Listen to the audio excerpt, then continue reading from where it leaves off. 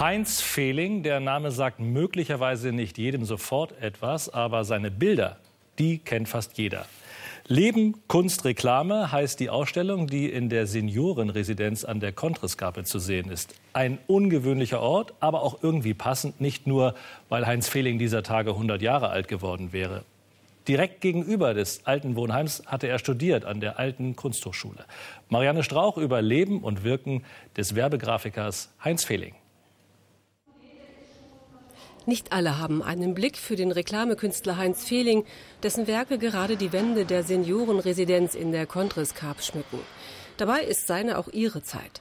Die Bewohner Marga und Norbert Zayong trifft besonders ein Plakat mitten ins Herz. Werbung für das legendäre Bremer Varieté Astoria. Lang ist her. Wunderschön. Kommt die alten Zeiten wieder. Das Kennenlernen meiner Frau das ist sehr beeindruckend. Wie lange sind Sie verheiratet jetzt?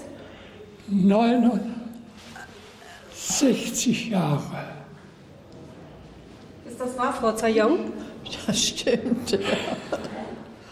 Die selbstgemachten Briefmarken haben es Gertraude Marx besonders angetan. Die hat er gezeichnet, die sind ganz fantastisch. Einmal Churchill, und, und Stalin. Und auch als Zeichnung auf einer Feldpostkarte haben sie funktioniert.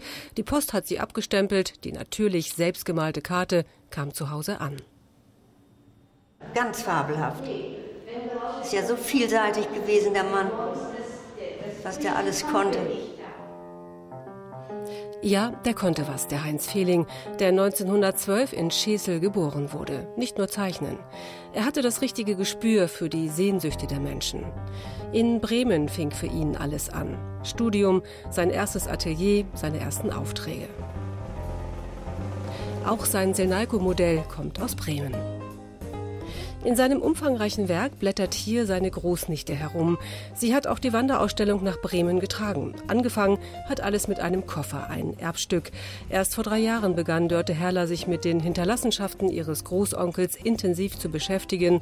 Und eines hat sie besonders begeistert. Vor allen Dingen seine Fähigkeit, ähm, das Schöne für einen sehr präsent zu machen. Diesen sturen, schönen Sinn für ja, seine, seine Zauberei eigentlich. Er konnte das Schöne in den Alltag zaubern. Der schöne, sture Sinn, den schien er vor allem für einen bestimmten Frauentyp zu haben. Und den setzte er auch für die Werbung ein. Er hatte auch ein Faible für Tänzerinnen. Ein Casanova soll er aber nicht gewesen sein. Die Frauen haben für ihn geschwärmt und er für die Frauen. Aber über ein ehemaliges Sinalco-Modell von ihm habe ich erfahren, dass er das aber nicht ausnutzte, dass er sehr respektvoll mit den Frauen umging und ähm, eher zurückhaltend war. Also was so ja, zu dem Bild, wenn man denkt, er ist so ein Lebemann im Astoria unterwegs und hatte die Tänzerin aus, aus dem Astoria immer in seinem Atelier, äh, könnte man sich das auch alles anders vorstellen, aber da war er wohl sehr ähm, respektvoll. Und auch das gehört zur Biografie von Heinz Fehling. Während des Zweiten Weltkrieges war er für die SS-Standarte Südstern in Italien als Propagandazeichner aktiv. Das hier sind die letzten Aufnahmen des erfolgreichen Grafikers selbst. Mit 76 Jahren starb Heinz Fehling an den Folgen seiner langjährigen Krankheit Multiple Sklerose in Baden-Baden. Heinz Fehling soll sich immer gewünscht haben, noch einmal nach Bremen zurückzukehren. Mit der Ausstellung zu seinem 100. Geburtstag ist es ihm gelungen. Bis zum 23. November ist sie noch in der DKV-Residenz zu sehen.